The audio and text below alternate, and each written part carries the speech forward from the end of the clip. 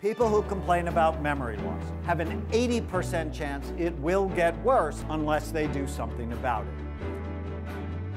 When you lose your memory, you lose your independence and the precious moments that make you happy. You can slow or even reverse the aging process. Your brain's history is not your destiny.